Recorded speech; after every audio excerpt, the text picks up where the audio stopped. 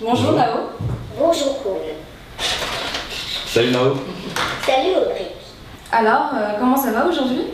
Ça va, merci. Ça va et toi? Ça va, merci.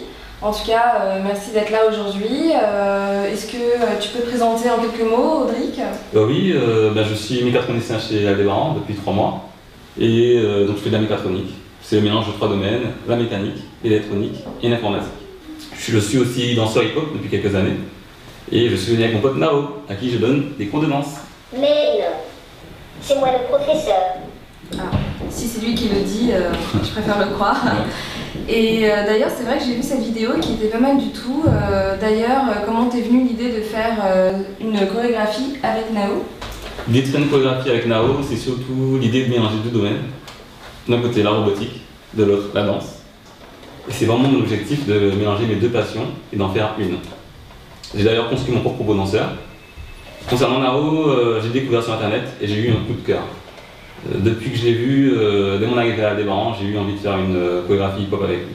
Et comment as-tu réalisé une danse pour Nao et uniquement avec le logiciel chorégraphe Et comment as-tu choisi aussi la musique, la danse Ben, je me suis familiarisé assez rapidement avec le logiciel chorégraphe, avec l'aide d'Aldébarien, qui m'ont appris les bases, c'est-à-dire faire relever le robot, le faire s'asseoir. Et ensuite, je me suis axé vers les boîtes qui permettent d'animer les mouvements du robot, et ainsi j'ai pu faire une chorégraphie. J'ai même dû faire des pompes pour être au top. Voilà. Mais ça se voit en tout cas. et euh, en combien de temps as-tu réalisé cette vidéo? Je l'ai réalisé, mise bout à bout, je dirais entre 5 à 7 heures, pour la chorégraphie de Nao. Par contre, concernant l'interaction entre lui et moi, ça a pris beaucoup plus de temps. Euh, je dirais quelques jours de plus. Ben, Moi j'aimerais bien faire la même chose. Euh, Est-ce que tu aurais des astuces euh, que ce soit pour les développeurs ou pour euh, les débutants comme moi qui souhaitent justement utiliser le logiciel chorégraphe? Puisque j'ai l'impression que c'est assez facile d'utilisation. Ben, en fait, le premier conseil serait de prendre en main Nao avec la boîte Timeline qui permet d'animer ces différentes articulations. Là, on est à preuve. Voilà.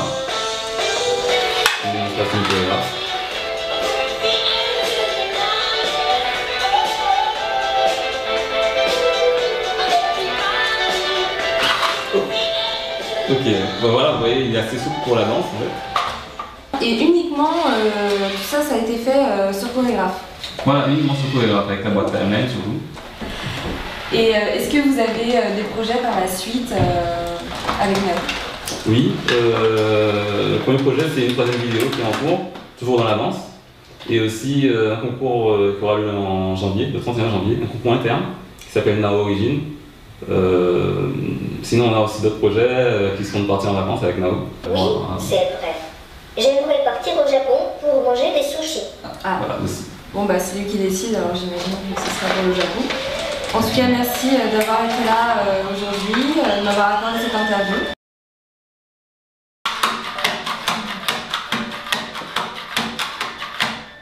Tiens, c'est pour toi.